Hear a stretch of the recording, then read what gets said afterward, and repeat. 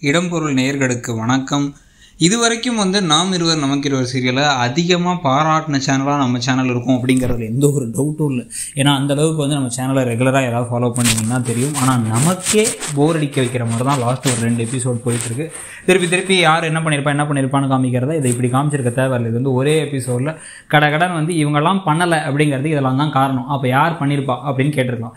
இப்போ ஏதோ திருப்பி வந்து பார்த்தீங்கன்னா இவ்வளோ தூரம் உட்கார வச்சு எல்லாத்தையும் கேட்டு இவங்க பண்ணியிருப்பாங்க அவங்க பண்ணியிருப்பான்னு காமிச்சது எல்லாமே வந்து நம்ம கடைசியில் என்ன நினச்சோம்? இவங்க தான் பண்ணாங்கன்னு கண்டுபிடிச்சிட்டாங்க. அதனால வந்து அந்த கார்த்திக் என்ன பண்ணுறாருன்னா இதெல்லாம் சொல்கிறாருன்னு நினச்சா கடைசியாக இவங்களாம் பண்ணியிருக்கலாம் பண்ணியிருக்கலாம் அப்படின்னு சொல்லி நம்ம எல்லாரும் நம்ம யூடியூப்பில் வந்து வீடியோ போட்டோம்ல அந்த எல்லா வீடியோவையும் சம்மரைஸ் பண்ணி மொத்தமாக ஒரு க க- ஒரு மூணு எபிசோடாக ஓட்டிட்டாங்க.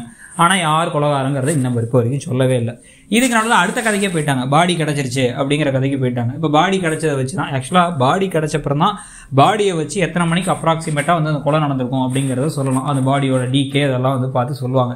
ஸோ ஆனால் அது பாடி கிடைக்காமலே ஒன்றரை மணிக்கு தான் கொலை நடந்துச்சுன்னு மகாவுக்கு உட்பட எல்லாத்துக்கும் தெரிஞ்சிருச்சு. ஸோ அப்போ உண்மையாக என்ன நடந்துச்சு? என்ன பிரச்சனை? அப்படிங்கிறத நம்ம யாருக்குமே நிறைய புரியவே இல்லை. தெரியும் சிசிடிவி கேமராலாம் ஆராய்ச்சி பண்ணுறாங்க அப்படின்னா இந்த ஃபேமிலியில் இருக்க அத்தனை பேரும் போய்லாம் கொலையை பண்ணியிருக்க முடியாது. யாரோ ஒன்று ரெண்டு பேர் சேர்ந்து தான் பண்ணியிருக்கணும். அப்போ உண்மையிலே முத்துராசி இறண்டாரா இல்லையா? இல்லை வந்து மாசாணி வந்து அங்கே ஒரு ஒரு உடம்பு ஒன்று வச்சிருக்காருல அங்கே வந்து ஒரு- வயசான ஒருத்தர் இப்போ வச்சிருக்காருல அதை வச்சு ஏதாவது கதையில் ட்விஸ்ட் இருக்குமா? முத்துராசு மாதிரி வேற யாரோ ஒருத்தவங்க ஆனால் அடையாள தெரியாத ஒரு ப- பணத்தை வந்து அங்கே வந்து போட்டுட்டு அதே மாதிரி கழுத்தில் வந்து வெறும் அந்த பச்சை மட்டும் குத்தி விட்டாங்களாம் கு- அப்படிங்கிறதெல்லாம் தெரியல. இந்த மாதிரி நிறைய கேள்விகள்லாம் இருக்குது எந்த கேள்விக்கும் இந்த வாரமும் பதில் தெரியாதுன்னு நினைக்கிறேன். நாளைக்கு வெள்ளிக்கிழமை முடிய போகுது. ஸோ முடிஞ்சிருச்சு அப்படின்னா அதுக்கு அடுத்த வாரம் தான் கதை போக போகுது.